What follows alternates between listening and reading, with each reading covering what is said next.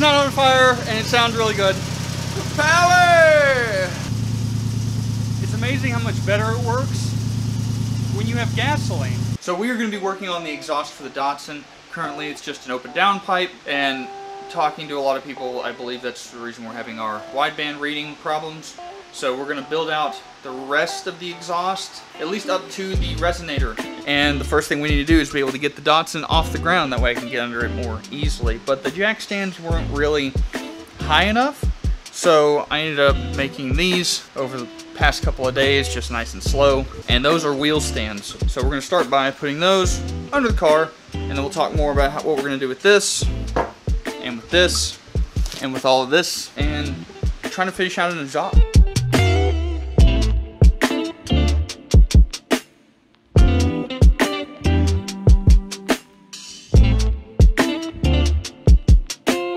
Alright, we have the car up on the stands and it is very roomy. I'm very excited about that. So before we start messing with any the exhaust piping, this is what we are going to be using. I've got 3 inch diameter, 4 inch high flex pipe from Vibrant. Uh, that way it'll, you know, exhaust can rattle, won't crack turbo housing or any of those other crazy horror stories that you hear about.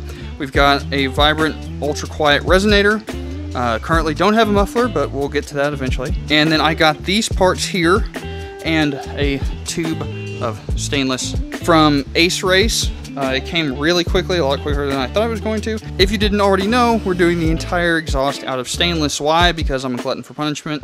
It's Texas. Definitely could have done mild steel and made my life a lot easier. However, here we are. Oh, Lord, what is that? Maybe it's a lift. Maybe BendPak sponsored me for no reason. You can't even fit a lift in here. Well, I guess we could you know what I'm thinking. So we've got some stainless steel exhaust hangers, uh, just bend these to shape. I don't have a torch, so we'll see how that goes. Little rubber exhaust hangers. Um, I only picked up one flange for now. Also see why here in a little bit, but these things are beefy. They are very thick. Two flanges, one for each side, and then a gasket, as well as a long 45. I didn't, I wanted it to flow better, and we have plenty of space underneath, I think. So if we need to create a couple pie cuts, we've done it before, so it's not that big of a deal. And let's look at what we have on the downpipe side. So this is currently our downpipe, also made out of stainless, but we need to adjust this thing, make sure our wideband isn't gonna knock into our trans over there, just kind of shift it over a little bit, which is the way it was designed anyway, and hopefully give a little more room for eventually when we build this out to dump into our downpipe. It's all gonna be one piece. So we're gonna adjust this guy how we want it, then we're gonna get underneath the car and look at what we have there.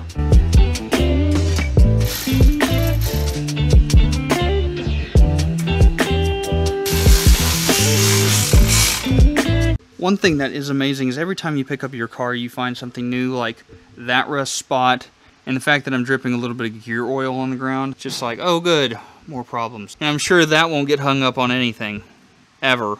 So currently here's where our downpipe comes out. It comes just before the frame rail and as you can see here I left it a little long before I started my curve to avoid our section here of the floor pan. The idea is to take our 45 and kind of boop weld that guy on here. This would have been super nice to work on the car like this a long time ago. The idea is we're going to take the exhaust. So 45 out of this guy. Uh, I haven't decided if I want to run him up here, but that's a lot of bends uh, but the car is pretty low. And I'd like to keep the exhaust as high as possible. Then, once we get past it, this little blank area here between the trans, where it's elevated a little bit up next to the drive shaft, this is where our resonator is going to go. Then eventually it'll come out here, kind of work out. Try to avoid the fuel cell as much as possible, and then out the back. Well, as you can see, the transmission mount is out of the car and all mocked up, and there's a reason for this because the exhaust was hanging way too low when I mocked it up on the car. This is where we're at. So I've made a couple of marks. I think what we're going to do is something along the lines of this here, which is leaving the original part open. I am going to take a little sliver off here just for ease of access. And then we're going to build basically up and then down here. Nothing left to it but to do it, so let's just hop into a giant cutting and welding and more cutting and welding. and This is going to be what today is, so get it going.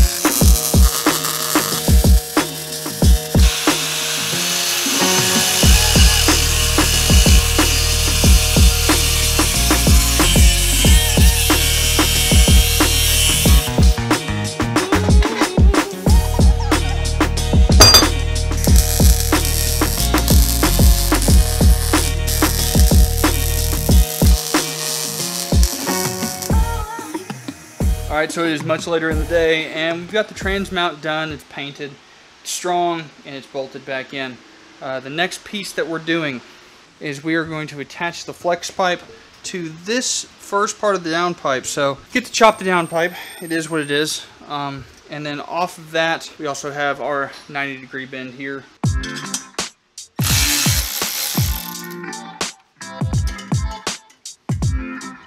And boom, we have the downpipe. We're gonna take the wideband off and get to cutting and mocking up. So we're gonna weld it up about right there. Uh, that gives it about four inches to the wideband bung, which is what I've heard is the necessary amount. These flex pipe pieces are really cool. They move quite a bit, as you can see, without letting any, any of the exhaust out because of the outer shell that's around here. However, it does, when you're cutting your exhaust to length, it does slip in here so that it's easier to weld. It just slips in and you just weld a bead around it, a bead. This one in particular, which is a vibrant one, goes in about three quarters of an inch on each side. So I'll take my little mark, go in three quarters of an inch, and that's where I need to cut my downpipe.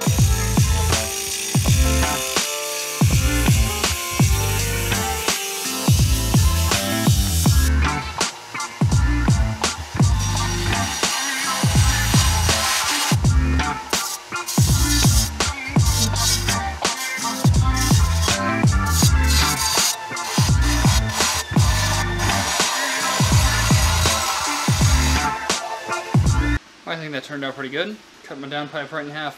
You know what I should do is just kind of like put it right out the top. No wideband, no problems. And it fits in there just like that. And then boom! Maybe I'll have this sticking out the hood. Oh wait, wait, we do, we'll have our AFR, don't you worry. Set it up, boom! Just like this. Right at the top.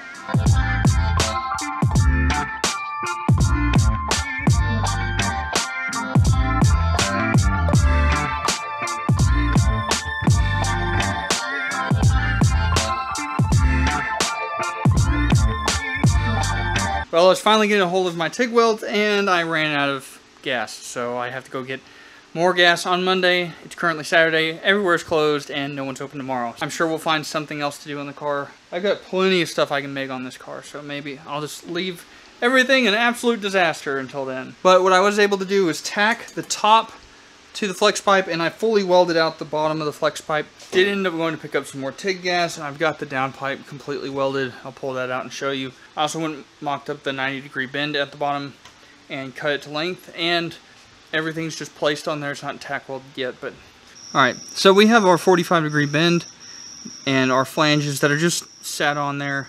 Our pipe here that goes back into nothingness. Now here at the end, we've I've decided to put my resonator here, just underneath the drive shaft before the differential. It's basically the only place it's going to fit.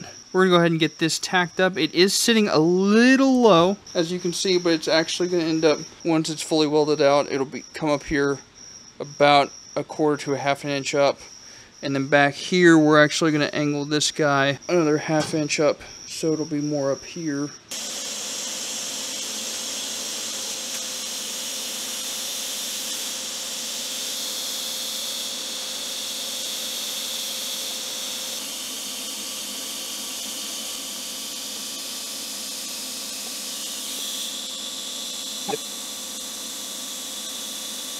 Alright, so the entire downpipe is finally welded up. Some of these welds came out really good. Some of them came out, yeah, there's a little area to fill. Alright, so I've got basically the downpipe back done. The only thing I have left to do that I've already marked out is tack on our resonator. So let's just do that. Boom. Hopefully that was a good transition. So we've got it tacked on there. One last test fit on the car. Hopefully, fingers crossed, she'll be ready to fully weld up and we can hear what she sounds like. Alright, so I just finished welding it all up and honestly, I think the welds turned out a lot better than I thought they were going to be. Some of these turned out really good. Uh, worked on the fitment, worked on my welding. These down here were a little more difficult. I just finished them up, so I'm not going to touch it. But it's all welded up. It's all sealed. There's no holes that I know of. And next thing we're going to do is start on the car. I'll give you a cold start with no exhaust and cold start with the new half exhaust. Very exciting.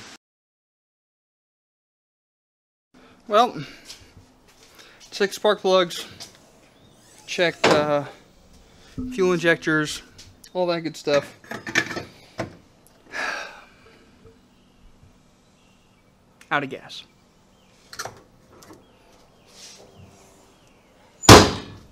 Let's do it again.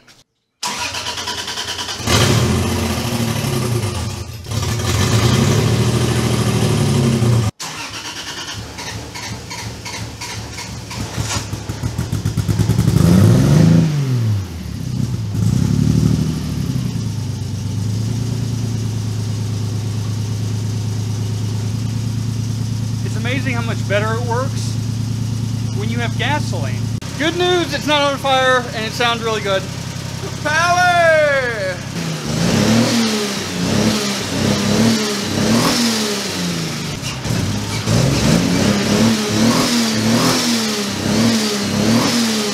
Oh, yes. It sounds so good. You know when it's going to sound even better? With a muffler and a good tune. Because it is smoky as hell out there. For you, those who don't know, my truck is not white. Yeah, it's just a resonator right now. It's that ultra quiet. Ultra quiet.